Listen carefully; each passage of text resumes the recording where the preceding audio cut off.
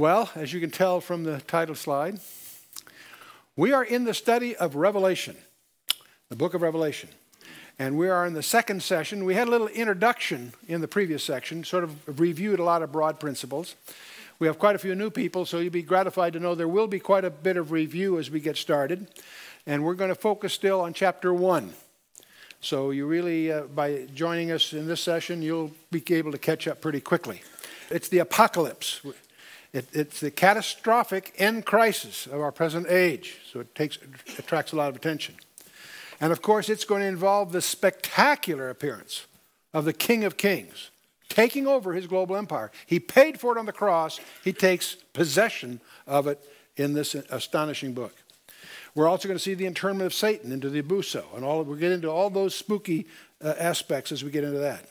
And of course, we'll deal with the millennial return on the earth and the reign of Jesus Christ. That's very controversial. Uh, I think it's unfortunate, of course, that probably nine out of ten of the denominational churches uh, don't believe in a literal millennium. That's their view, they have their reasons. But uh, we have a different view. We'll try to explain some of those things and we'll share with you why we hold the view we do. And I might mention right here it's not our desire to create controversy or to sell a particular viewpoint. What our real goal here is to get you to do serious study of the Bible in general and this book in particular uh, as a serious student. We will share our views and why we hold those views, but all underscoring it all, all along the way, we encourage you to do your own homework. And of course, we will see the final insurrection and the abolition of sin and uh, a new heaven and a new earth. Interesting. A new heaven as well as a new earth. The redemption is, involves far more than just you and me personally, far more than just the believers. There's far more going on here. But just to reiterate, the fundamental foundation of this ministry hinges on two discoveries. The first discovery is that this book, that we, these 66 books that we glibly call the Bible, are actually 66 separate books that were penned by over 40 different guys over thousands of years. The discovery is that we now discover it's an integrated message system, and I don't mean just thematically. Every detail, every number, every place name, even the mathematical structures underneath the text exhibit very skillful design. That's the first discovery. The second one derives from that. That design had to emerge from outside space-time because it anticipates things before they happen in structure as well as content.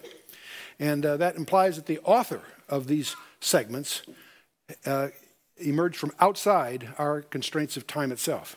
Once you discover those two things for yourself, it will change your whole perspective of the Bible. And uh, it, it will lead you to an awe that's essential to really understand it. Now, the central themes, of course, the Old Testament is an, is an account of the nation. The New Testament is the account of a man, a very specific man. The Creator himself became man. And of course, his appearance is the central event of all history. And, uh, you know, Mel Gibson did a fabulous job with his movie, The Passion, in, in its graphics and its in, in, in aspects of it. But it fails to really communicate who he was. The crucifixion of Christ was not a tragedy, it was an achievement. Dozens and dozens of prophecies fulfilled on that one day that were written centuries before. He died to purchase you and me. And the good news is he's alive right now as we speak. And our most exalted privilege is to know him. That's what the Bible's all about. That's what these sessions are all about. So this is by way of just a warm up. But let's do something with our presuppositions. We all bring to this evening various presuppositions. Let's first of all recognize God means what he says and says what he means. And that sounds so simple, but it's so fundamental. The Bible is an integrated whole. Every detail is there by design, and uh, nothing is trivial.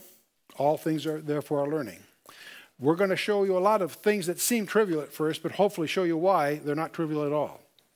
And God, of course, is his own interpreter, not Chuck Missler or some radio preacher or whatever, God himself. And our challenge is to find out what he really means. Now, in the early days of my ministry, I used to make everybody put this at the top of their notepad. I think I'll do this again. And this is a, a warning. In Acts 17 11, Paul leaves the Thessalonians, goes down to Berea, and he speaks of the people down in Berea. He said, These were more noble than those in Thessalonica. In both groups accepted him broadly. But the Bereans, he said, were more noble than those in Thessalonica, in that they received the word, the word of God, with all readiness or openness of mind. But they searched the scriptures daily to prove whether those things were so. That's where Luke is telling you don't believe anything Chuck Missler tells you. Check it out for yourself. And, and my intent is to get you to study, not to accept my particular views. I share my views in the sense they may be helpful, but also that you'll know where at least I'm coming from. You may not agree, that's fine. Do your own homework. Now, there are different views of this book. There's the preterist view. They say that the, the, the, meaning of this book was good only for the time it was written, the era of John and so forth. That's their view. There's also another view that's closely related, historical view, that this has all been historically completed. And those are views you'll find books written with that perspective.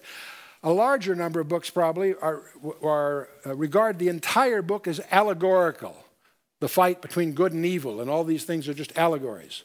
Some people would call that the idealist view. And uh, there are allegories in the scripture, of course, but this goes far beyond just that. The fourth view, and the one we obviously are embracing, is what some people would call futurist. We believe this Bible is what it says it is, and it said the book of Revelation claims to be prophecy, and we believe it is. In fact, I think we can demonstrate it as we go. But these are four classic views. You should be aware that there are different views. The book of Revelation itself claims to be a prophetic book in many, many places, more than just the few I've listed here. Why prophecy? We're all interested in prophecy. Well, the Old Testament has over almost 2,000 references to Christ's rule on the earth, not just his first coming. There are so many references to his first coming. That's why many of the Jews, when he made his appearance, didn't recognize him because they're so fixated on, the, on uh, uh, uh, Jesus, the son of David. They speak of uh, the uh, uh, Messiah ben Yosef, the suffering servant, is a different guy. No, they never realized it was both the same guy. There are 17 of the 39 books of the Old Testament that give prominence to the event. And uh, the New Testament, of course, is, uh, has 216, out of 216 chapters, there are 318 references to the second coming of Christ. Not the first coming, second coming. And it's mentioned in 23 of the 27 books. And the, the three that don't mention are, sim- are, little single chapter books written to an individual. It doesn't fit the context.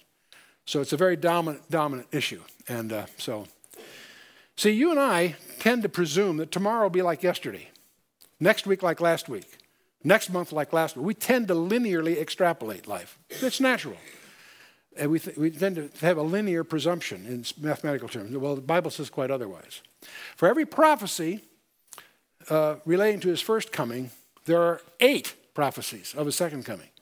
It has far more visibility than even the first coming. Well, we're going to go through chapter one. We started a little bit last time. The first three verses I think we touched on. That's the introduction to the book. And uh, from 4 to 11, we have his salutation and the occasion, what caused John to write this book. But then 12 to 18 is a vision of Jesus Christ, the risen Lord. And that may surprise you to study it carefully. Then we have something that's unique to this book. I don't know of any other book in the Bible that has an outline. Usually that's the teacher assigns you to do an outline of the book you're studying. John gives you an outline to the book in verse 19. We'll take a look at that. And then we have a prep. The last verse is a preparation for your next few sessions, uh, chapters 2 and 3. But the introduction will start with the revelation. Notice it's singular, not plural. The revelation of Jesus Christ, which God gave unto whom? Unto Jesus Christ. Think about that a minute. Many people read that first sentence don't realize what it's saying the, revel- the unveiling of Jesus Christ that God gave to whom? To Jesus Christ. The Father gave the Son. Why? To show unto his servants things which must shortly come to pass. That word shortly or quickly, we'll run into that a lot in the book. It comes from a Greek word, the same Greek root from which we get the word tachometer. And what a better translation really would be suddenly. It doesn't mean shortly in the sense it's going to be the day after tomorrow, but it, when, when one thing happened, they're all going to come right quickly together.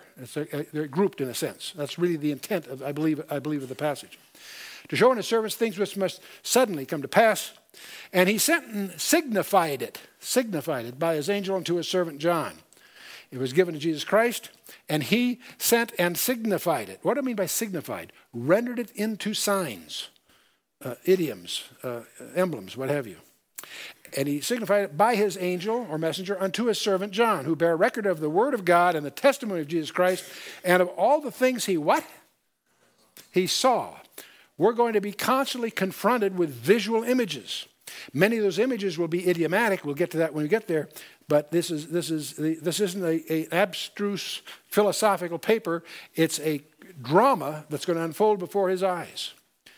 Now, the basic units, you know, if we talk of written language, what's the basic unit of written language? An alphabet. If you take Greek or Russian or English, you have the first thing you got to master is the alphabet. It's the basic units of written language. If you're going to study sound, uh, Josh and the guys that do the editing of, uh, uh, uh, of these tapes deal with very elaborate software that breaks the sound in, in, into its individual phonemes. It's the smallest element. If you have an image, most of us are familiar with the vocabulary of images today because of digital cameras. What's the smallest element of an image? A pixel. These are elements. Well, what's the basic unit of meaning? Not sound or language, but meaning. It's called a sememe in, in information sciences. It's the smallest image. It comes from the Greek word semaino or sema, which is translated a mark. But that same Greek word that's used in this book uh, over uh, 4,000 times is the basic unit from which we draw in science, the basic unit of meaning. And that means to give a sign or signify, to indicate, or to make known. It's the basic element of that.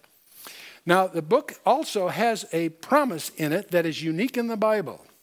Nowhere in the Bible is there the, uh, the audacity to say, Read me, I'm special. No book in the Bible reaches that far. Many places say, Read the Bible, but only one book has, if I use the term audacity or chutzpah, if you will, uh, to say, Read me, I'm special. This book says, Blessed is he that readeth, and they that hear the words of this prophecy. You can't find that appellation on any other kind of any other passage in the scripture, I don't believe. And keep those things which which hear these the words of this prophecy, and keep those things which are written therein for the time is at hand. Now, one thing you'll notice all through the everybody that anybody that's looked at the book at all, even superficially, realize that there are sevens everywhere. We're going to be confronted with seven churches in the next few sessions.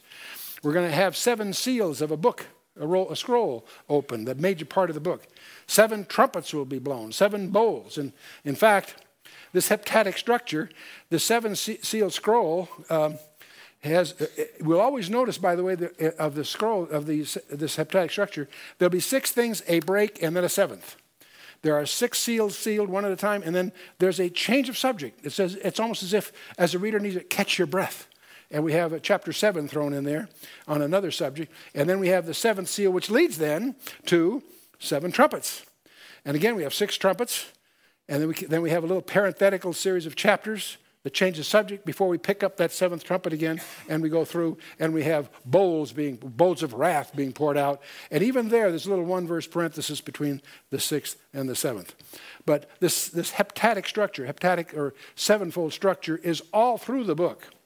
There are seven lampstands, seven spirits, seven stars, seven lamps, seven title pairs, seven promises of the overcomer, seven horns, seven eyes. It goes on. Seven angels. We talk a lot about those in a little bit.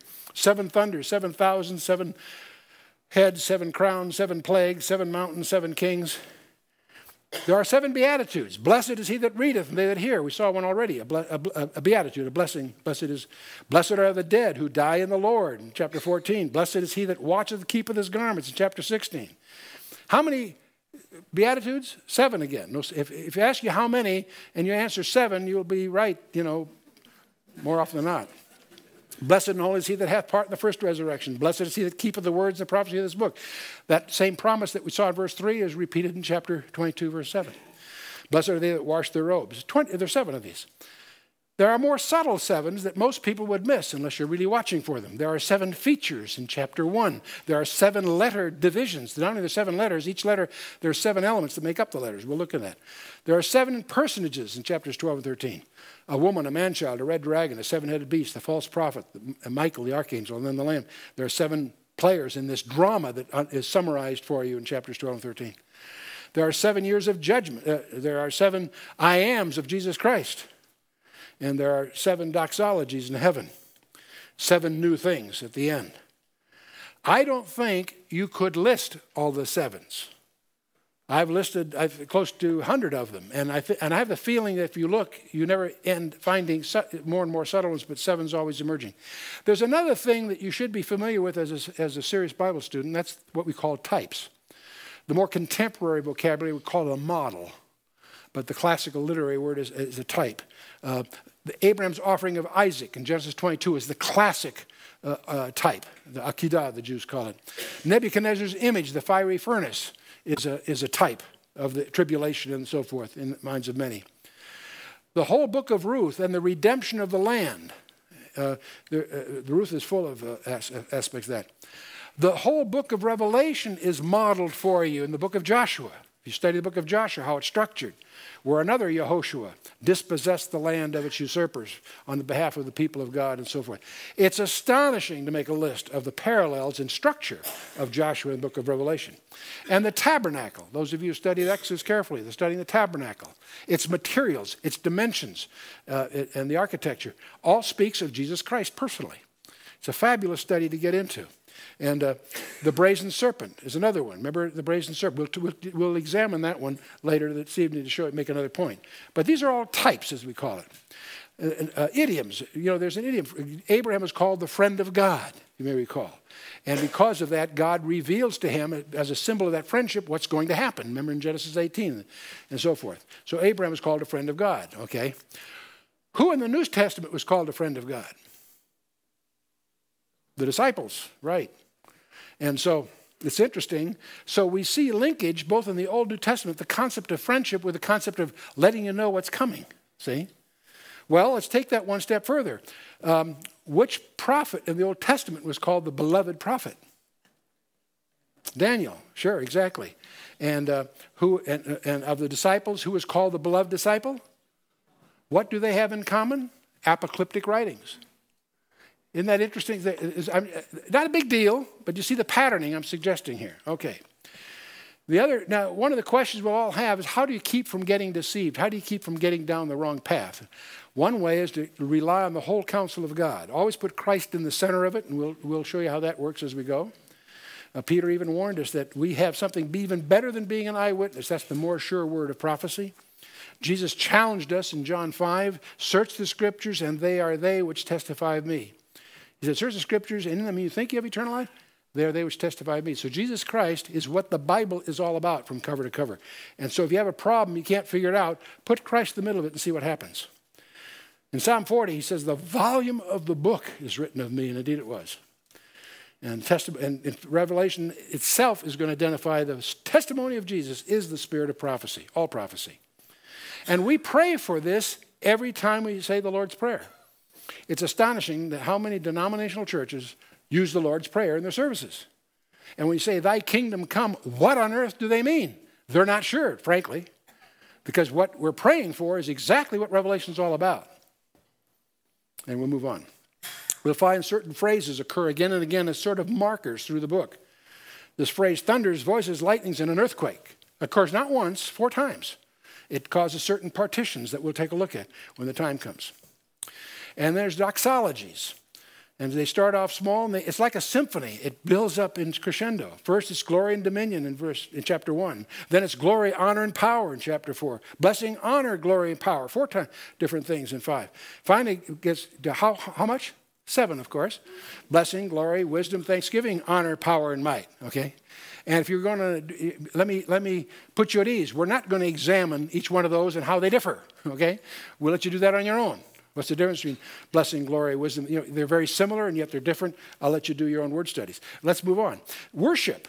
There's all kinds of songs in here. Holy, holy, holy in chapter 4. Worthy art thou. That's repeated so many ways in so many places. And it goes on. There's, how, how many different uh, uh, worship songs are there? Seven. Good for you. Okay, good guess. Yeah. All right. Oh, one thing I always love about four, four hallelujahs. There are four hallelujahs in the New Testament. There are 24 hallelujahs in the Old Testament. And as often is the case, when you put them together, it's always a multiple of seven. There are many multiples of seven that only occur if you put the Old New Testament together. It's almost like they're stitched together because of that property, the heptadic structure again. But we'll move on. There are four things out of place in the book of Revelation, and we're going to get, put them in the right place. Israel is not in the land, it gets, gets the land in, in Revelation. The church is on the earth, it belongs in heaven. The Lamb is not on his own throne, he's on his Father's throne. He's going to take the throne that Gabriel promised Mary in Luke 1, David's throne. He's going to take that. And Satan is loose and he'll be bound. So these are all corrections or resolutions that take place. There are three women in, prominent in the book. The wife of Yahweh or Jehovah, or however you want to pronounce it. She is summarized in chapter 12. That's not the church. I'll show you why when we get there. It's Israel. The, is, the church isn't, It's the virgin bride, the bride of Christ. She's portrayed quite differently. If the woman in chapter 12 is, is uh, the church, she's in big trouble because she's a virgin bride that's pregnant. The idiom doesn't quite work, okay? And for a lot of other reasons too. No, the virgin bride is the bride of Christ. That's in the book. And there's the third that's the harlot, Mystery Babylon, the woman who rides the beast. Don't confuse the woman with the beast. She rides the beast. They're different. We'll get, deal with that when we get there. So that's a quick look at what we talked about last time with a little bit of a review. Let's get to the salutation and the occasion of the book. Revelation of Jesus Christ, which God gave unto him to show unto his servants the things which must shortly come to pass, and he sent and signified it by his angel unto his servant John. This is the John that the apostle John. He will show up five times in this, uh, specifically referring to himself in this book. Who bear record of the word of God, the testimony of Jesus Christ, of all things he saw. And, uh, okay, we took that, okay. John, it's, it's, it's like sort of a memo from me to you. John, which uh, uh, uh, to the seven churches which are in Asia. The word Asia, by the way, is not the continent of Asia. You and I use the term to speak of the Far East. Here it's being used as a province of the Roman uh, Empire. The, province, the, the province of Asia, now we might call it Asia Minor, is essentially the western two thirds of Turkey. So that was, that was a province in the Roman Empire called Asia. And he, John is writing to seven churches which are in Asia. It says, Grace unto you and peace. That's a very common word. To a Greek, you say grace, charis, very com- comfortable greeting. And to a Jew, you might say shalom or peace. So they can be viewed as just comfortable salutations, but not in the scripture because each one is a profound theological statement. And I won't get into, from here, we could launch into a whole sermonette on what do we mean by grace. And that's getting what we don't deserve, right? And there's a whole aspect to that. But also peace. Getting peace with God is what it's all about. We win and He wins in this uh, resolution. And, and, and uh, we could go through both of those terms. The easy way to do that is just pick up a commentary on the book of Romans and it'll go into all of that for you. But grace unto you and peace. From whom? From him which is, and which was, and which is to come. Who would that be? Well, uh, God. Okay, we'll leave it at that for the moment. From the spirit, seven spirits which are before his throne. We have the from from him from him which is and which was to come and from the seven spirits, and from Jesus Christ, who is the faithful witness, the first begotten of the dead, and the prince of the kings of the earth. And I'll go on in that in a minute. You have, you suspect right away that what you've got here, it sounds like the Trinity, Father, Son, and the Holy Ghost, right? You've got him which is, which was, and which is to come, which one can argue is God, God in general, or God the Father specifically. I'll get back to the seven spirits in a minute, and from Jesus Christ. Now, when you see Jesus Christ, who he is the faithful witness, first begotten of the dead. The, here's three identifiers of Jesus Christ. He is the faithful witness. He's the first begotten of the dead, and he's the prince of the kings of the earth. These are not only true and, and justify a great deal of discussion on each one that I'll spare you tonight, but you, I think they're self evident. But I want you to notice that these labels are identified with Christ and will be used of him throughout the book. So later on in the book, when it says the faithful witness, or if it says the first begotten of the dead, or if it says the prince of kings of earth, who is he talking about? Here's the linkage. If you're a computer programmer, this is like the data division. Usually in a program up front, you set up the identities, what you mean by various things that you're going to use later. This is exactly what's happening here. It's interesting that each of these phrases have three tenses, a past, present, and future. God, which was, which is, and which is to come. And each one of those are allusions from elsewhere in the New Testament. God, which was, is mentioned in Colossians 1 and John 8 and elsewhere, other places. Then we have Jesus Christ. I said he's a faithful witness. That's past, that's been done. He's the first begotten of the dead. That's now. And he's coming in this book, the Prince of the Kings. There's a future. See, each one of these has a past, a present, and a future. Do you get the feeling? And obviously, we take each one and elaborate, but your notes will have the verses. You can chase those down yourself, okay? Unto him that what? Loved us, washed us from our uh, uh, sins in his blood, and made us kings and priests. There again, it's past. He loved us. It's interesting that in the Bible, when God says God loved us, past tense, so what do you mean past tense? He loves us now, absolutely. But when it says he loved us past tense, what is it referring to? Anyone? Oh, oh, I got you. What, what is, what? Right on. Gold star, absolutely, the crucifixion. That's a term, you'll notice carefully. Every time you find that God loved us, past tense, it's allusion to the cross. Okay? Unto him that loved us, that's past, that washed us from our sins in his blood. That's today, every day. We're washed through the water by the word, according to Ephesians. And in the future, what's the book all going to show us here? He made us kings and priests. He's made us, but we become the kings and priests. So it's the past, present, and future. And then we're going to find, when we get to verse 19, the outline of the entire book is in the same tenses. Past tense, the things which you have seen. In other words, when you get there, be, it will have been the visions of Christ. The things which are, that is the seven churches, and we'll come to that be at the end of the day. And the things which shall be meta tauta after these things. So again, we have past, present, and future. It may shock you to realize that there are these same three tenses, past, present, future, in your salvation. That may disturb some people. Well, I have been saved. What do you mean by that? I have been removed from the penalty of sin. It's a positional statement. I'm no longer subject to the penalty of sin. I have been saved. Past tense. You with me so far? Okay. That technically would really be called justification, but I won't go down the theological path here. There's a present tense. I'm being saved every day. What do you mean by that? I'm saved from the power of sin. Past tense, penalty of sin. Present tense, power of sin. That's operational, moment by moment, by the power of the Holy Spirit, not by my flesh. The minute I lean on my flesh, I've blown it, I sin.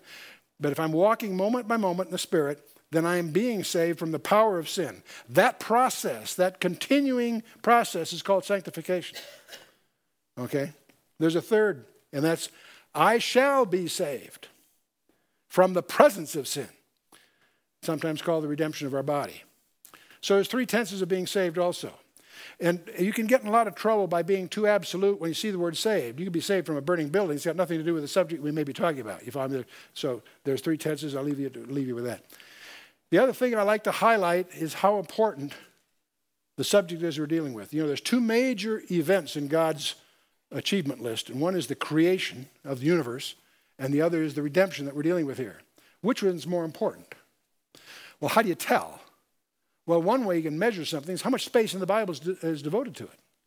Well, space. You've got in the, in the creation, you've got two chapters in Genesis, not bad. You've got a few Psalms and a few chapters in Job, several chapters in Isaiah, and that's about it.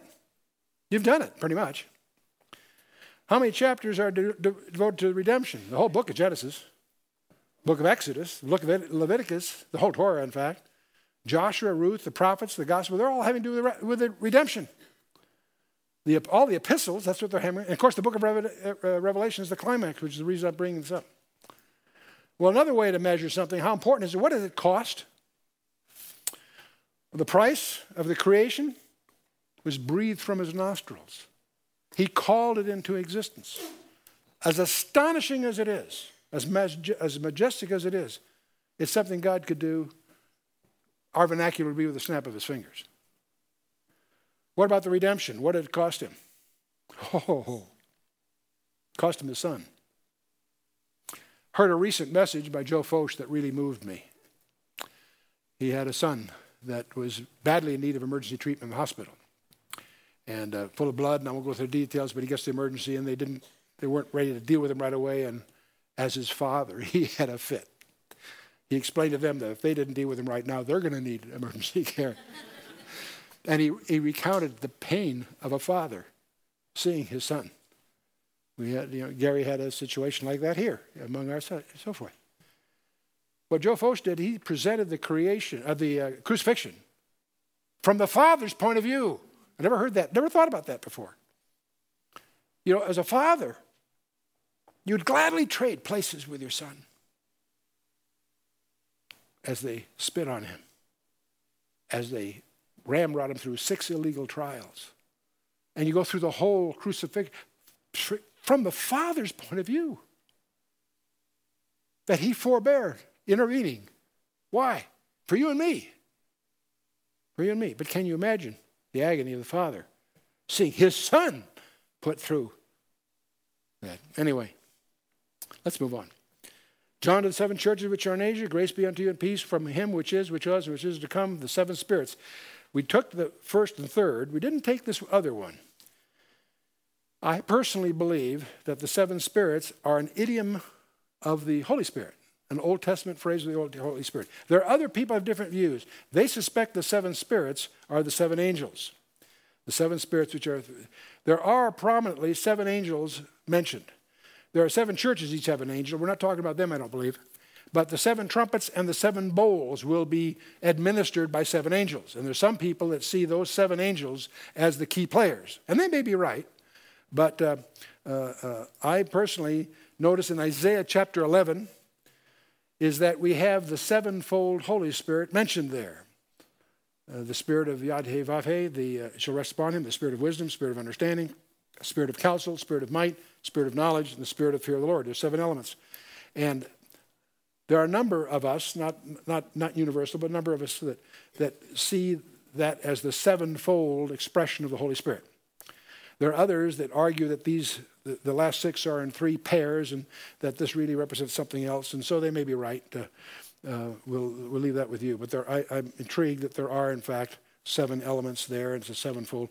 And that also makes that thing a, a, a allusion to the Trinity. But moving on, unto him that loved us, washed us from, his, from our sins in his own blood, and hath made us kings and priests unto God his Father. To him be glory and dominion forever and ever. This is uh, John finishing his salutation that opens his letter. But he uses this, it makes, it makes an interesting remark here that he hath made us kings and priests. We're going to make a big thing of that when we get to chapter five, 4 and 5, because there are only three people that are kings and priests. You may recall all through Israel, the kings were of the tribe of Judah, the priests from the tribe of Levi, and they were to stay separate. A couple of occasions they were crossing that line, it was a no no. Kings and priests in Israel were separate mandates. There are only three people in the Bible that are both. Melchizedek is singled out in Genesis 14 and, and uh, elaborated in, the, in, the, in a couple of places in the uh, Psalms. And then uh, the book of Hebrews makes a big thing of that Melchizedek was a king and a priest, very unique. The only other, in fact, the other one is Jesus Christ. He's a king and a priest. There's a third, and that's identified right here. You and I, if we're believers in Christ, hath made us kings and priests. And that's going to be an important identity piece forthcoming. So I call to your attention now. Then John continued, Behold, he cometh with clouds, and every eye shall see him, and they also which pierced him. Sounds like an echo from Zechariah 12 10, and so forth. And all the kindreds of the earth shall wail because of him. Even so, amen. Do I hear an amen? amen. Okay, good. And I am Alpha and Omega, the beginning and the end, ending, saith the Lord, which is, and which was, and which is to come, the Almighty. Boy, I love that. Love that. Book of Revelation will, will uh, deal in superlatives in every direction. And the ultimate superlative is His Majesty. I am Alpha and Omega. I think most of you realize Alpha is the first letter of the Greek alphabet, Omega, the last letter. In the Hebrew, you'd say the Aleph and the Tau. In the English, you'd say the A and the Z, but the same, you get the idea. I am the Alpha and the Omega, the beginning and the ending, which is, which was, which is to come, the Almighty. Now, John starts, the, that was all by his opening breath. Verse 9 I, John, who also am your brother and companion in tribulation and in the kingdom and in patience of Jesus Christ, was in the isle that is called Patmos for the word of God and for the testimony of Jesus Christ. This is the occasion he calls attention. It's John. He's going to refer to himself five times um, in, in this book alone. Uh, there was fashionable, some scholars have tried to attack the, the, the authorship of John, but it, that, that is easily shredded. It's very clear. Uh, competent scholars agree. There's no doubt that, that he wrote it and so forth. So we have to waste time on that issue. Um, John, of course, was born of Bethsaida to Zebedee and Salome. He, had a, he was the, uh, probably the younger of two brothers. Um, And uh, they were fairly well off. Salome ends up being a major financier of, of Christ's ministry later on. Uh, they were Galilean, uh, uh was, John was a Galilean fisherman like his father. In fact, he was in partners with his brother and with Peter and Andrew in a fishing business.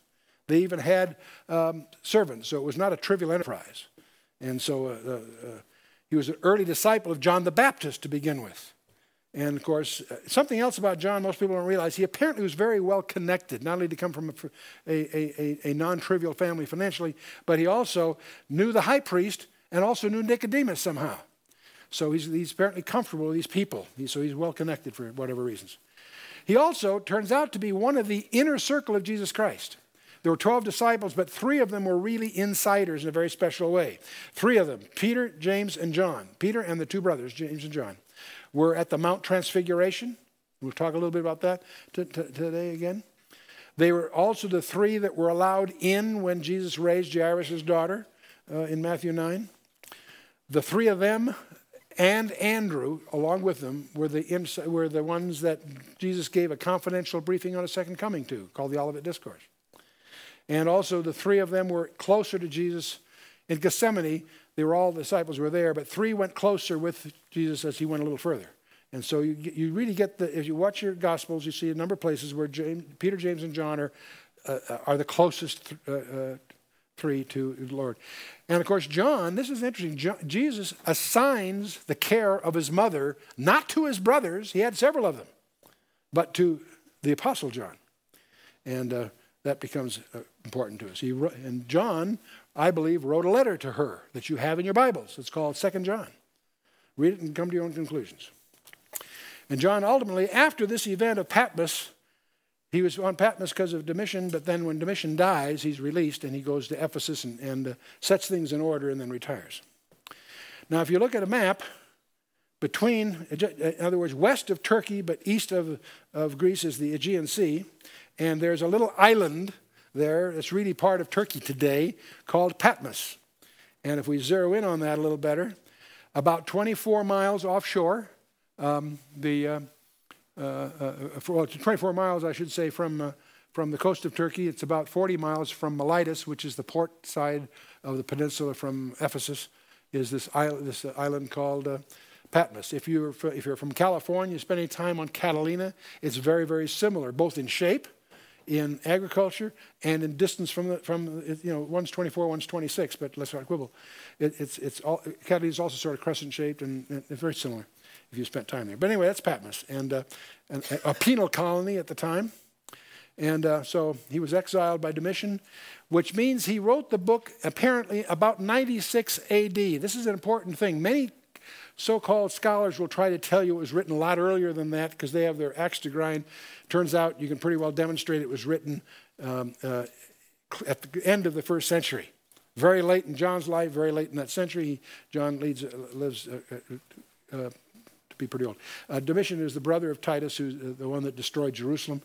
Um, Hippolytus has, spreads this rumor that he's first plunged in boiling oil and then sent to the island exile. That's just one of these traditions or legends that's pretty well disputed by most serious scholars. Victorinus says that he was forced to work in the mines located in Patmos. I could not find any evidence of mines on Patmos. I think that's another one of these traditions that show up. But Irenaeus, Clement, and Eusebius uh, all point out that after Domitian dies, um, that uh, and Trajan takes over, that uh, John returns to Ephesus, sets the churches in order, and he retires there. He really retires there. Okay. Now we get into verse 10 and 11. John starts the narrative. I was in the Spirit on the Lord's day and heard behind me a great voice as of a trumpet, saying, I am Alpha and Omega, the first and the last, and what thou seest, write in a book and send it to the seven churches which are in Asia unto Ephesus, Smyrna, Pergamos, Thyatira, Sardis, Philadelphia, and Laodicea. Well, let's take this apart. First of all, on what day of the week did, was, was uh, John in the Spirit to receive this thing? And if you say Sunday, you flunk. Good for you. We don't know that it was Saturday, but it's a better answer. We don't know the day of the week. Everybody assumes, many scholars even jump to the conclusion that when he says, I'm in the Spirit on the Lord's day, that that's what he's talking about. Let's talk a little bit about that. Um, is Sunday the Lord's Day? Most of us if you've been in the medieval church or the remnant after that church, after a thousand years of indoctrination, assume that Sunday's the Lord's Day. The, the Sabbath, the Shabbat, was ordained in Eden in Genesis chapter 2. Shabbat was observed before the law was given. In Exodus 16, when the manna falls, they gather it on every day except Shabbat. That's interesting because that's Exodus 16. The law was given, the Ten Commandments and all that, in Exodus chapter 20, four chapters later. The point I'm getting at is uh, the, the Shabbat, the, uh, the observation of the Sabbath, was ordained before the Ten Commandments. The Ten Commandments say, remember the Sabbath day. It's simply incorporating that practice into the Ten. We know from Daniel 7, verse 25, that the spirit of the Antichrist, if not the Antichrist personally, will seek to change the times and the laws. How interesting. Now, if you look at a modern calendar, and I have a picture here, one of this year from Europe, and uh, it's interesting on this calendar that it starts on Monday, first day of the week. And it, they do that to make Sunday the seventh day of the week. Really? That's kind of interesting. You mean that Monday's the first day of the week and Sunday is the seventh day of the week? I didn't know that. Neither did the writer of the Bible because upon the first day of the week, very early in the morning, they came into the sepulchre. What day was that? Easter Saturday? No, we call it Easter Sunday, right? And that's not just in Matthew 28 1, it's Mark 16, Luke 24, John 20. It is one of those few things that's recorded in all four Gospels. No, we need to understand that from the beginning, the, um, uh, the, the Lord's appointed day, by his own definition, all through the Torah is uh, Shabbat, the seventh day. That's when the Lord himself rested, and he honors that day, and he calls that day an appointment with him. Well, we don't have to keep the Sabbath. You're right. You don't have to keep the Sabbath, I guess. But it's his appointment. You're going to miss it? it's up to you. But anyway, so uh, that, that's why many people get concerned about that. Now, it's interesting. The Bible says many places do not move the ancient landmarks. I never associated that with the seventh day until a rabbi pointed that out to me. That's kind of interesting. That's a very fundamental landmark that we tend to move. I'll point out something else if you say, well, that changed, uh, that, you know, that, that, that changed when Christ rose from the dead. Well, that's interesting because the Lord gets back and sets up himself in the millennial temple, according to Ezekiel. The millennial temple will only be open on Saturday, not on Sunday. On Saturday, and you've checked that out in Ezekiel 46, verse 1 on Sabbath and also on the new moon, on the month, the new moon. So now, gee, Chuck, what are you saying? We shouldn't worship on Sunday? No, you can worship anytime you like. For a Christian, every day is holy. And we, on, we worship, those that worship on Sunday, worship to celebrate the Lord's resurrection. Not knocking it. Not knocking it. But um, what we're supposed to do is show his death until he comes. There's a resurrection validates the death, but anyway, we could go down that path if you like. But anyway, um, Paul does seem to take us off the hook. He says, Let no man therefore judge you in meat or in drink or in respect of any holy day or of the new moon or of the Sabbath days, which are a shadow of things to come, but the body is of Christ. So don't let it become a big division. But what Nan and I try to do is uh, observe in our own simple way Shabbat. From Friday night through uh, uh sundown Friday to sundown uh, Saturday, we, we have three rules. Whatever we do, we do deliberately, and we do together. Rule two. And the third rule is there are no other rules. My kind of deal. And uh, so worship when you like. Don't let it be a point of division. But it's interesting. The more you, anyone that thinks it's a simple issue hasn't studied it. It's, it's worthy your own individual study. Come to your own conclusions. But John says, I was in the Spirit, obviously on the day of the Lord on Patmos, but he also says it in three other occasions before the throne in chapter 4, when he's carried away in the wilderness in chapter 17, and then on a big mountain in chapter 21. We'll deal that when we get there. Now, the, the, verse 11 says, He says, I am an Alpha, Jesus said, I am an Alpha and Omega, the first and the last. I want to come back to that phrase in a little bit. What thou seest, write in a book and send it to the seven churches which are in Asia to Ephesus, Smyrna, Pergamos, Thyatira, Sardis, Philadelphia, and Laodicea. It's interesting that the entire book of Revelation is like a cover letter that is then sent, I mean, it's sent with a cover letter to seven churches. So it wasn't one church, it was uh, these seven all got a copy. The seven churches, which are in Asia, again, that's the province of Asia, and uh, they're not the only seven churches in the province of Asia. Some scholars say they were. That's not true. Yeah, where uh, Laodicea was right virtually adjacent to Colossae and Hierapolis, all of which are mentioned in the Bible. That valley has three. Why weren't the others mentioned? Why these seven? We're going to come to that. Seven churches. We'll come to that later. Let's go to the verses 12 to 18. This is a core part of chapter 1. We touched on it lightly last time. Let's go a little more carefully. The vision of the risen Christ. John says, I turned to see the voice that spake with me. The one that said, I am Alpha Omega was a voice behind him, apparently. He turned to see the voice that spake with me. And being turned, I saw seven golden lampstands. And in the midst of the seven lampstands, one like unto the Son of Man, clothed with a garment down to the foot and girt about the paps with a golden girdle. Or putting another way, across the chest with a golden uh, breastplate kind of thing. Okay. Seven lampstands, um, who is the Son of Man? Jesus Christ. That term is used of him uh, again and again in the scripture. And uh, encourage you to take a concordance, chase it down yourself. We could spend an hour just talking about not only that phrase, what it means, but also the way it's used in the scripture. Uh, the book of Luke's primary focus on, is on that very issue. But here we actually see a, a, a description of the risen Christ. We see the risen Christ in the Gospels when he raises from the dead. He has breakfast there on the Sea of Galilee. We don't get a description of him. But here we do. We see him. He's clothed with a garment down to the foot and girt about the, the, the vest the, with, uh, with a, a golden apparatus of some kind. And we get more. His hair, his head and his hairs were white like wool. It's white as snow. Here we have not only the visual, but also the implication of purity. And his eyes were as a flame of fire. Watch out for that word as and like. It's such and such is like this or such and such is as. That means they're using a simile. You know what a simile is? A metaphor is like a simile without the as and like. They're a little more difficult, but they're still figures of speech. But when you have the as or like, you don't even have to guess. You know it's a figure of speech. His eyes weren't a flame, his, his eyes were as a flame of fire. And, and uh, indeed. So, and his feet, like unto fine brass. It doesn't say they were brass, they were like brass. But the image here is as if they burned in a furnace. So they're molten bright, if you will. And his voice as the sound of many waters.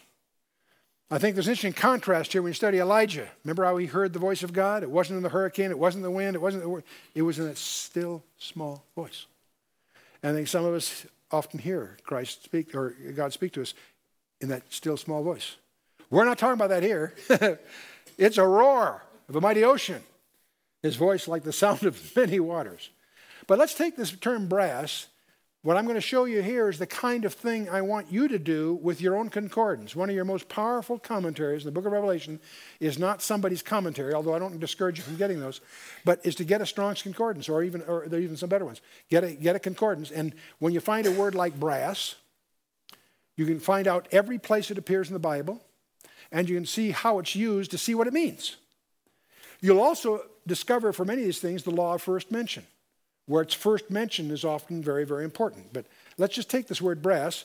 That should remind you of this strange episode in Numbers 21. You may recall that the Lord sent fiery, uh, according, uh, starting in verse 6, the Lord sent fiery serpents among the people, and they bit the people, and much people of Israel died. There's a preamble here why God is doing this, but I'm going to set that aside for now. These serpents are killing people. Therefore, the people came to Moses and said, We have sinned for we have spoken against the Lord and against thee. Pray unto the Lord that he may take away the serpents from us. So they're getting an, a judgment. They understand why they're getting it, apparently. And so, but can you, can you, can you stop this thing? And so Moses prayed for the people. Okay? Now, God has lots of different ways he could deal with it. He can make the serpents go away. He could just stop. There's all kinds of ways you can imagine. He does something weird Really weird. The Lord said unto Moses, Make thee a fiery, brazen, turns out serpent, and set it upon a pole. And it shall come to pass that everyone that is bitten, when he looketh upon it, shall live. Moses made a serpent of brass and put it upon a pole. And it came to pass that if a serpent had bitten any man, when he beheld the serpent of brass, he lived. Now, come on, that's pretty weird. You're grateful that he did it, but you've got to be asking yourself, what on earth is that all about? A, a serpent is a symbol of sin. A brass serpent on a pole up on a hill. If I look at that, I'm cured. That's got to be weird. But here's the point further you can read the rest of the Old Testament and not get an answer on this thing. What's this all about? In fact, when you get to the days of Hezekiah, that brass serpent is still hanging around and people are worshiping it. So Hezekiah takes it and destroys it. It's a thing of brass. See, you, say, you have the same danger with the Shroud of Turin. The Shroud of Turin is dangerous if it's real. I don't know if it's real or not. Some people think it is. If it is, it's dangerous. Why? Because people will start to look to it rather than God or Jesus or whatever. But here we are, the whole Testament, we go all the way to the end of the Old Testament. This makes no sense until that night with Nicodemus when Jesus says something to Jesus. Jesus is talking to Nicodemus, who's a ruler. He was the teacher of the people, by the way. He was the top, top teacher at that time. Jesus says to him, As Moses lifted up the serpent in the wilderness, even so must the Son of Man be lifted up that whosoever believeth him should not perish, but have eternal life. Suddenly, the fog lifts. Oh, that's why God put a serpent on a pole, because it's a type, an emblem in advance of the cross. Did they know that in the days of Moses? I don't think so. They may have had some suspicions, he may have had some insights not recorded, but it makes no sense until Jesus explains it to you. You with me? Not only that, this phrase that Jesus said here sets up the most important verse, the most well known verse of the Bible.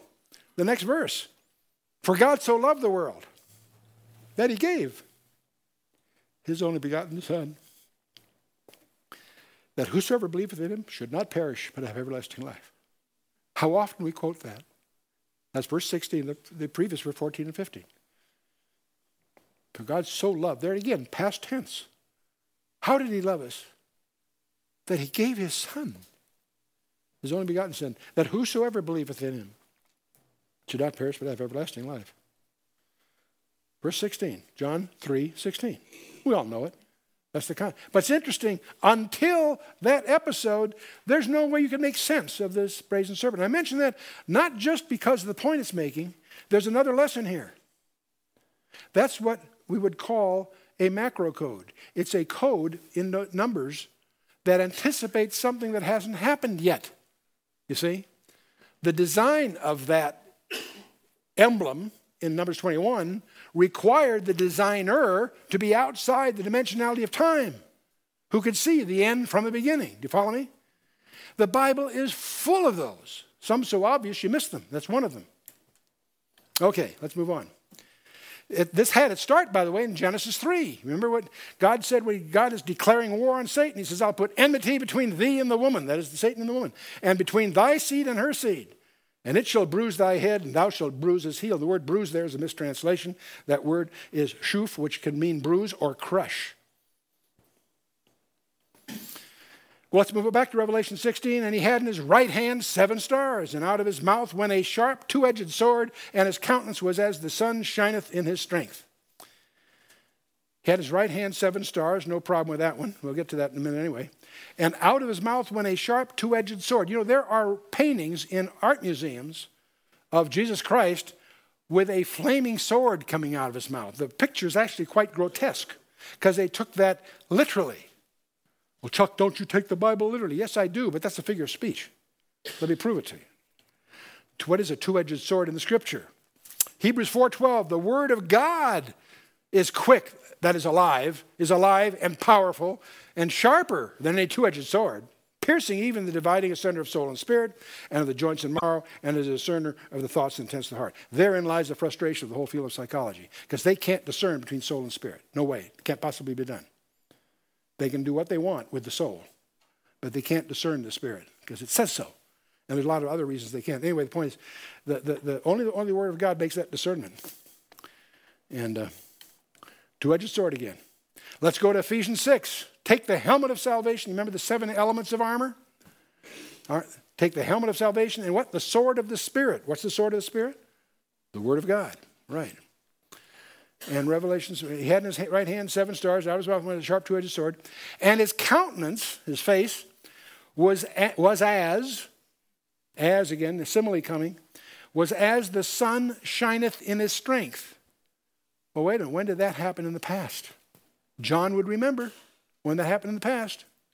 Okay, his countenance was as the sun. In Matthew 16, they were, he says, Verily, uh, let's start with last verse of Matthew 16. He says, Verily I say unto you, there shall be some standing here that shall not taste of death till they see the Son of Man coming in his kingdom. That ends chapter 16. Many people wonder, when did that happen? That's because you forget those chapter divisions are man's convenience, not part of. Verse 17, chapter 17 says, And after six days, Jesus taketh Peter, James, and John, his brother, and bringeth them up into a high mountain apart, and was transfigured before them, and his face did shine as what? The sun, exactly. And his raiment was white as light. The transfiguration of Christ is, I believe, what it's talking about. So his countenance was as the sunshine of his strength. What does John do in Revelation verse 7, chapter 1, verse 17? And when I saw him, I fell at his feet as dead. And he laid his right hand upon me, saying unto me, Fear not, I am the first and the last. That's a strange phrase. We encountered it back in verse 11. I didn't want to stumble over it then. We'll pick it up now. The first and the last. This is worth jotting some notes down, okay? For lots of reasons. But one of the things, you will have your door, someone will knock on your door I don't know if they'll be riding bicycles, but they'll knock on your door, and they will want to talk to you about Jehovah God. And uh, if they do, you take them initially to Isaiah 41, verse 4, where Isaiah says, who hath, speaking of God, who hath wrought and done it, calling the generations from the beginning, I am the Lord, the first and the last, I am He. You say, who is that? Well, that's, that's Jehovah God. They're lit up because you understand that's Jehovah God. Good, okay. Taken to Isaiah 44, 6. Thus saith the Lord God, the Lord, the King of Israel, his Redeemer, the Lord of hosts I am the first and I am the last. Beside me, there is no God. Who's that? Well, that's Jehovah God. They're with you now. They're, you're locked arm in arm. One more.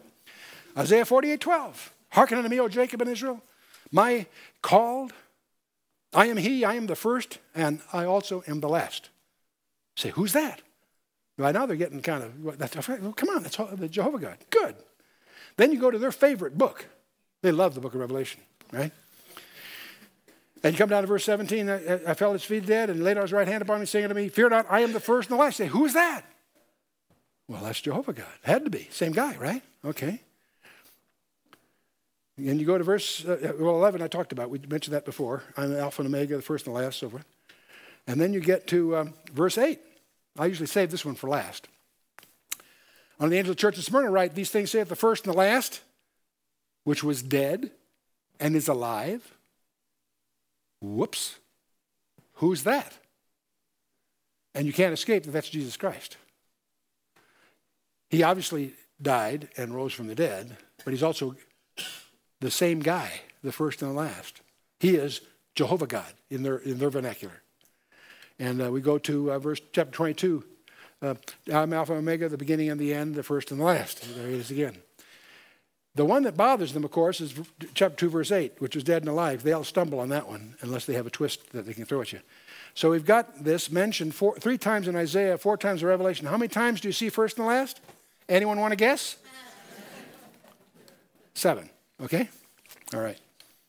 And it's interesting that two of them, verse 18 and verse uh, uh, chapter 2, verse 8, he was dead and am alive. That's his boast. That's his identity. The risen Lord. Okay. So we looked at the vision chapter 1. It's got seven features. The hair on his head is, is virtually a quote from Daniel chapter 7, verse 9. Hair as white as wool and all that business. Okay. His eyes is a flaming fire. Okay. That's all through the New Testament, at least four, uh, three times in the New Testament, once in the Old Testament. His feet, which is a symbol of his walk, right? Brass, judgment, we talked about that. The brazen serpent, we, you can put your notes on that. His voice as many waters is a phrase used twice by Ezekiel, once by Daniel chapter 10. His, on his right hand are seven stars and seven lampstands in the middle. It's interesting. We're going to talk more about these stars and lampstands, but notice something strange. They're in his hand, and yet he's in the midst of them.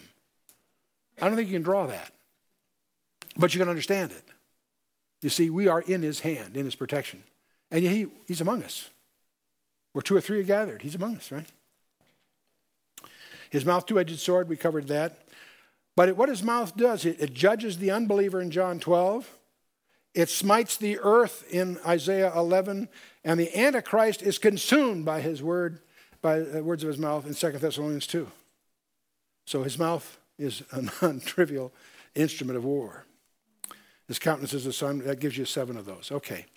Okay, now we get to the verse that's going to be very important to you. You want to really understand this verse if you're going to understand the book of Revelation. And that's chapter 1, verse 19. He, John is instructed to write the things which thou hast seen. No problem. What had he seen by verse 19? He'd seen the risen Lord. He saw the vision of Christ. That's what he had seen. Write what you had seen. He just did, chapter 1. The things which are, and the things which shall be hereafter. See, we've got past, present, future tense structure here again. Okay, write the things which thou hast seen. That's the vision of Christ, which occupies the bulk of chapter 1. Write the things which are, the things which are existing right now. That'll turn out to be chapters 2 and 3. There are seven churches that are going to receive seven letters, and I'm going to suggest to you right up front that the most important part of this entire book is chapters 2 and 3. Chapters 4 on have a lot of fascinating insights and material. Don't misunderstand me. But you're going to watch that from the mezzanine, I believe. I'll show you why I believe that. But the part that affects you and me today, tomorrow, and next week, whatever, is chapter 2 and 3. You need to understand. You may not be able to figure out who the trumpets are, what the bowls are, what these strange creatures in chapter 9 are about. You don't care because you'll watch that from the mezzanine, from a rooting section. No, the part that affects us is chapters 2 and 3. Because after, and then we have that which follows after the churches. And uh, so we're going to focus primarily on chapters 2 and 3 in the next several sessions. And that then leads to the last verse of chapter 1, the preparation for chapters 2 and 3. Mystery, uh, uh, Jesus continues, the mystery of the seven stars which thou sawest in my right hand and the seven golden lampstands. Colon. It's not even a complete sentence. It's sort of a title in an introductory title. The seven stars are the angels of the seven churches, and the seven lampstands which thou sawest are the seven churches. You with me so far? Okay. Question Where are the lampstands in chapter 1 right now? In, this, in the imagery of, the, of, of, of chapter 1. Where are they? On the earth. You got it. You're going to find them in heaven in chapter 4. Many people overlook that. It's not a big proof. I'll show you some other things that make it more con- conclusive. But just understand the consistency here. The seven lampstands represent why lampstands? Because there are light bearers. What's the church's mission? To bear the light. The, Israel was supposed to bear the light. That's why the menorah is today the symbol of Israel. Not the Star of David on their flag, that's an emblem, fine. The official symbol of the state of Israel is the menorah, the seven branch candlestick. Why? Well, for lots of reasons, not the least of which, it represents their mission to be a light to the world. They were intended to be the proclaimers of the, of the, of the Creator and the Redeemer. Here we have seven lampstands, seven churches. Are there more than seven churches? Of course, there are dozens of churches. One of the assignments I want you to think about between now and the next session why these seven? If you're a student, I'd have you make a list of the churches in the New Testament that are not. You, will come to 20 or 30 of them that aren't mentioned. Where's the church in Jerusalem? The church at Rome? The church at Antioch was the primary base camp for the proclamation of the gospel to the Gentiles. Not mentioned here. You can, mention, you'll, you'll think of a lot. Lystra, Derbe, there's a bunch of them. Why these seven? We'll talk about that. Okay. Seven churches, the things which are. Why these seven? Each letter has a peculiar phrase in it. There's one phrase, only one phrase, that occurs in each of the seven letters. It's a closing phrase to the letter. He that hath an ear, let him hear what the Spirit says to the churches. By the time we go through chapters 2 and 3, you'll be tired of hearing that, so to speak. Okay? Because it's there on every letter. There, I'm going to suggest to you, for your own confirmation, you figure it out for yourself, but there are four levels of interpretation or application of these seven letters. The first is they are local. They really were churches operating at that time. In fact, Sir William Ramsay conducted an intensive archaeological investigation, skeptically at first, totally convinced when he was finished, that these churches not only were actually existed, they had local problems that the letters were relevant to. And we'll talk about some of that as we go through the four letters, or seven letters. But they, had, they were literal churches in John's day that needed the Lord's counsel. Okay, that one's a no brainer. We got it so far? Okay. They're, I'm going to suggest they're admonitory to all churches. Notice what the, it says, He that hath an ear, let him hear what the Spirit says to the churches. See, all seven letters were sent to all seven churches. Yes, one was addressed to Ephesus, but they were all supposed to read and learn from it. Another was addressed to, you see, you follow me? Churches is in the plural, which means he that let him hear what the Spirit says to the churches, plural. They're all supposed to watch all of them. You got it? So there must be lessons there appropriate to the churches in general. And we can suspect that since there's seven churches, in some sense, they embrace all churches. Once you learn those seven letters in depth, you can profile every church in terms of percentages. Every church has some elements of all seven letters, even the uncomplimentary ones. But different churches they're, oh, this one, they're 70% X and only 10% Y. You, know, you follow what I'm saying? The, the, the seven become a sevenfold space in which you can map any church. Some good, some bad. They're all there. So it's important to understand. They're report cards. Okay. But this phrase also says, He that hath an ear. How many of you in this room have an earlobe? Can I see a show of hands? then this letter, these letters, all of them are written to you. I know Philadelphia is written to me, but no, what about the others? Okay. Okay. So they're homiletic, that is, they're personally, they're, uh, uh, they're intended for personal application. This is not something I'm contriving, that's embraced in the very language of the letters. We tend to overlook it because they're addressed to a particular church. No, it's addressed to the church you're going to, whichever it is, in some degree, and it's also addressed to you personally. Personally. So you see why this becomes the most important part of the entire book. Okay? But now there's a fourth part that I hope you will take it skeptically at first, but I'm going to suggest before it's over, you may be absolutely stunned with the next one. And that is these seven letters will outline a profile of 2,000 years of church history. You say, Chuck, that's speculation. Yes, it is. It's conjecture, in part. But you'll be able to make your own conclusions before we're through. But I'll put this right up front. If the letters were in any other order, that wouldn't be true. In the order that they're in, once you understand them, they lay out the history of the church on the planet Earth. Now, I know some people say, well, the church, you know, the old story about the, the, uh, the elder that comes to the pastor says, they're chewing gum in the sanctuary. The pastor says, no, no, the sanctuaries are chewing gum. In other words, we are.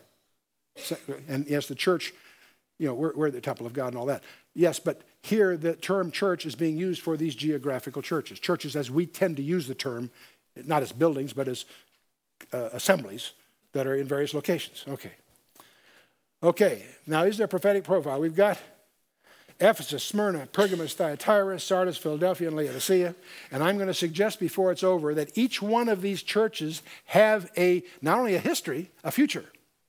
And that future is reflected in the letters in a way that's astonishing.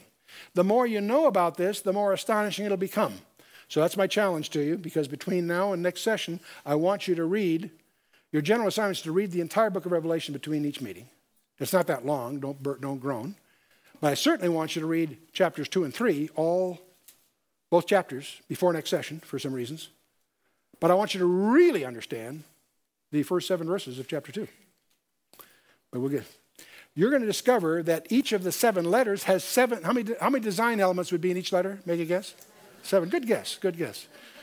The name of the church will turn out to be meaningful to the letter. What a coincidence.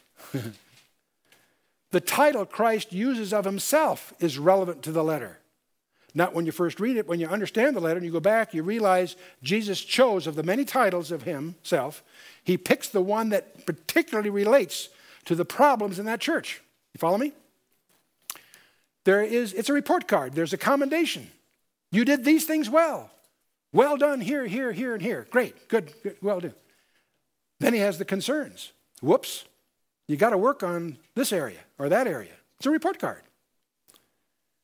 Then there's an exhortation that's obviously consistent with that. Here's what I want you to do. Here's your remedial assignment, right?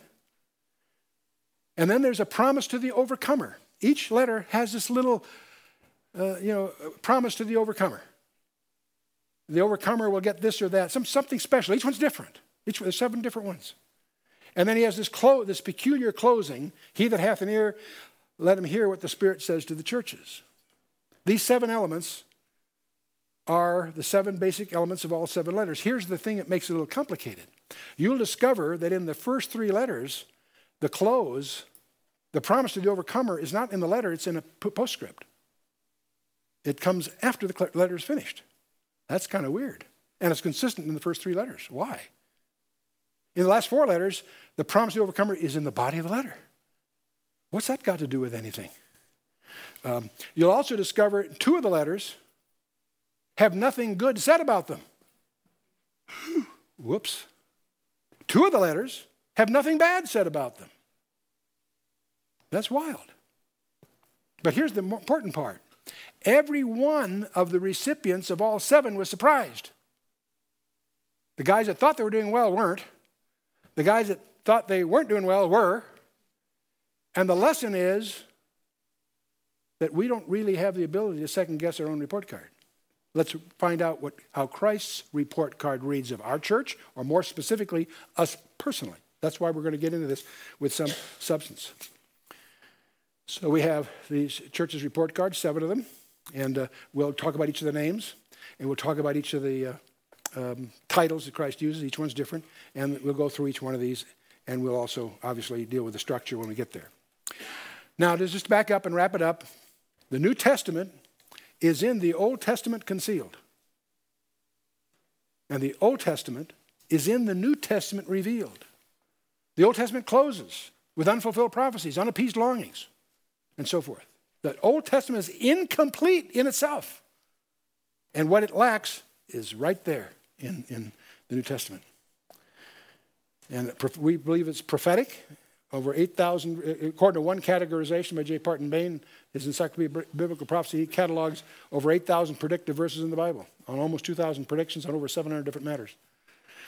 And we live in a day where there are major themes unfolding Israel, Jerusalem, the temple, Babylon, Russia or Magog, the rise of China, the European superstate, ecumenicalism, the move towards a global government, the rise of the occult. These are all trends that are clearly converging to a climax, and each one of them is mappable in terms of Bible prophecy. And that's why I always like to throw this up as a challenge. One last challenge, you've heard me before, but I'll put it up again. And if you accept the challenge I put on the screen, you flunk the course. I want you to skeptically attack or challenge this preposterous assertion that you and I are being plunged into a period of time about which the Bible says more than it does about any other period of time in history, including the time that Jesus walked the shores of Galilee or climbed the mountains of Judea. That's absurd. More than the gospel period? Yes. I believe you and I are going to be are, being plunged into a period of time. The Bible says more than it does even about the gospel period. Now, to challenge that audacious statement, you got to do two things. You got to find out what the Bible says, not what Chuck Missler says or your favorite prophecy club or whatever, what the Bible says. Find out what it says. Part one. Part two. Used to be hard, not today. Find out what's going on.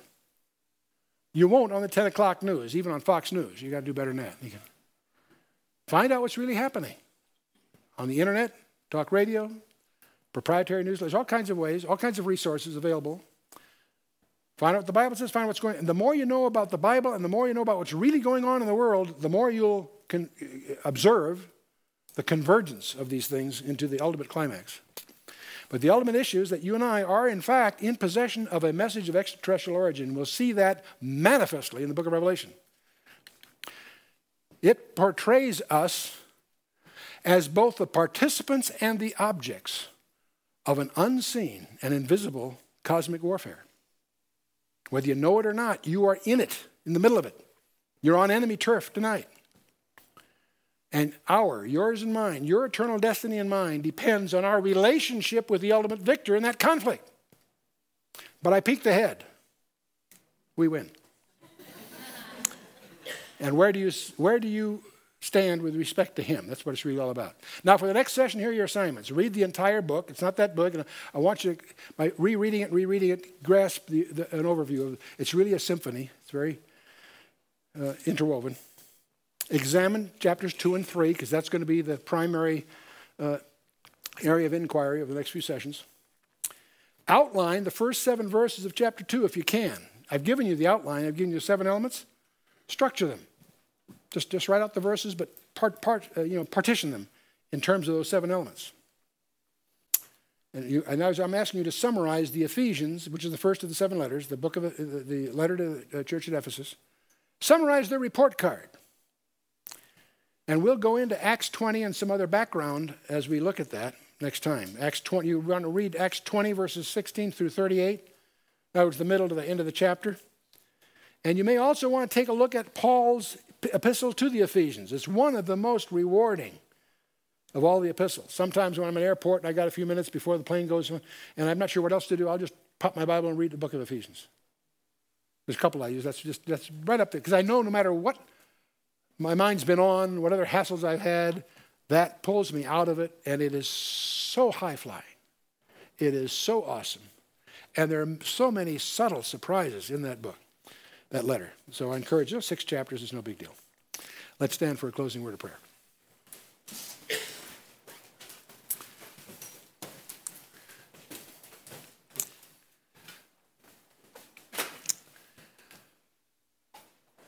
Father, we just praise you for who you are. We thank you that in your kingdom there are no accidents, no coincidences, that we're all here right now by your divine appointment. We do pray, Father, that your purpose would be accomplished in each of our lives. We do pray, Father, that as we enjoy this incredible tour de force that we call the book of Revelation, we thank you for its edification. We thank you for its excitement. We thank you for its majesty. But above all, we thank you for Jesus Christ. And we we pray, Father, as we enter the seven letters, that you would use them to speak to each of us personally, individually. Help us to understand those seven report cards.